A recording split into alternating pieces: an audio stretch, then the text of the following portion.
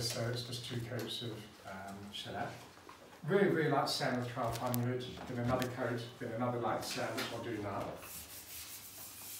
And all you're doing is just getting any little sort of prickly bits off. If you've applied it properly, you shouldn't have thick um, brush strokes. So finish with your hand, just feel it lightly down. If you over sand, you'll get um, bald patches um, you haven't got any shellac as a sealant, so you don't want that. So dust it all off. So this is the um, size. Now size is basically an oil-based varnish. Okay?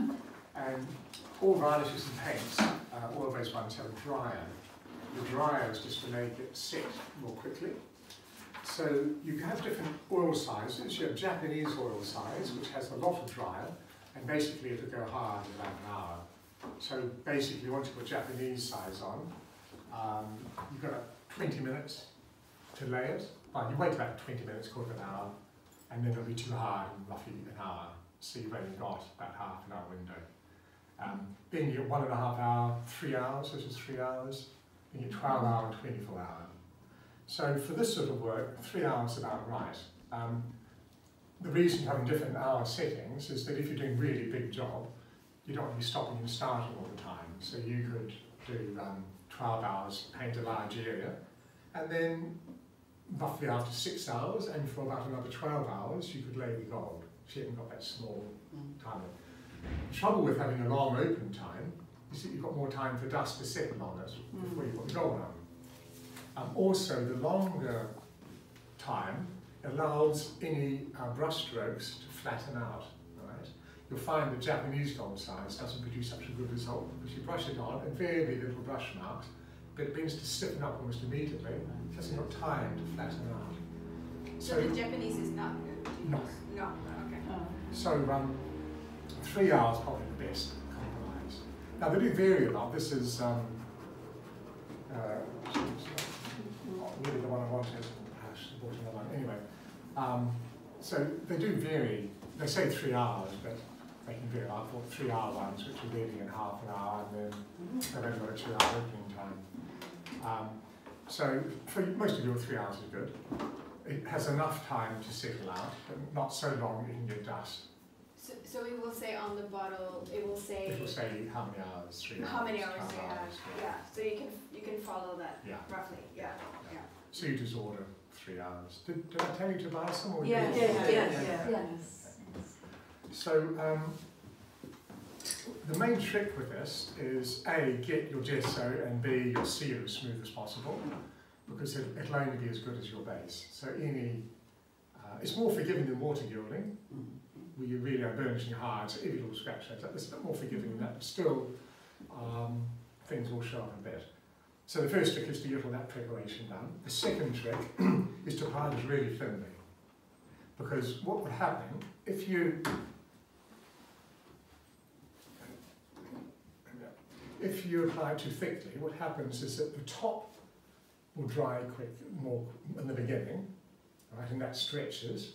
But what's underneath will dry and contract, and that will cause ripples in the skin on the top.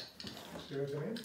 So if you put it too thickly, you'll form a skin on the top, which is all right by itself, but everything else will start to dry and contract, and that will cause the skin to crinkle. So when you put your gold down, you get little ripples, obviously not good. I heard it. Yeah, yeah. So the trick there is just to put it as really as thin as you can. Okay. And this is why probably a synthetic, soft synthetic brush might be better.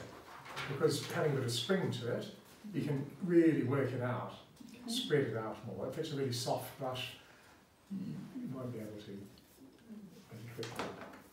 Also, you don't want to um, overbrush. If you overbrush while it's beginning to stiffen a bit, then of course hasn't got enough time to settle out um, and, and even out.